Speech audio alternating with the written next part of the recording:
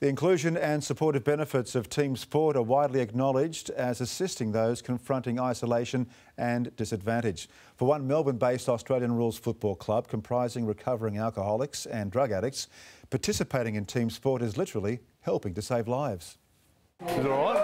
In many ways, the Salvo Hawks are like any other team preparing for a grand final.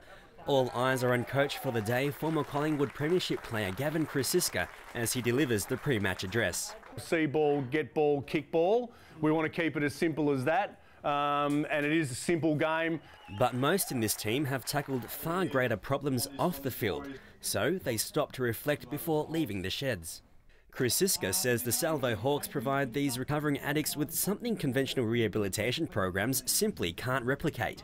Their Wednesdays is what they really look forward to, and it's uh, the one day of the week where uh, they have a real purpose in life. And uh, in early recovery, you know, finding that sort of purpose is a really key ingredient. In the predominantly male Salvo Hawks team is Kathleen Saylor.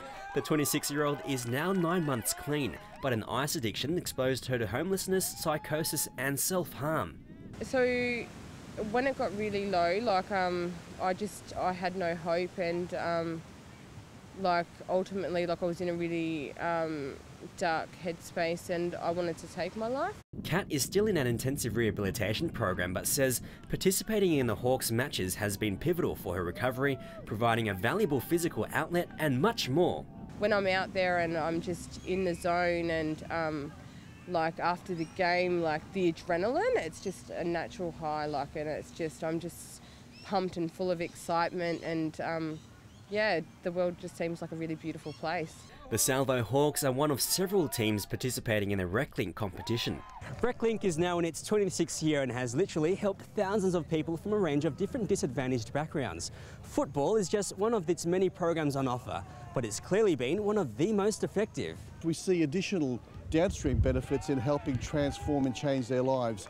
People moving towards pathways of learning, pathways of employment, or pathways of improving their own personal health and well-being. But today there was a grand final to win, and Kat Saylor was a key member of the Hawks' sweetest victory. So it has definitely saved my life, and it's put me on a path that I just um, I never thought I'd be on. Philip Ly, SBS World News.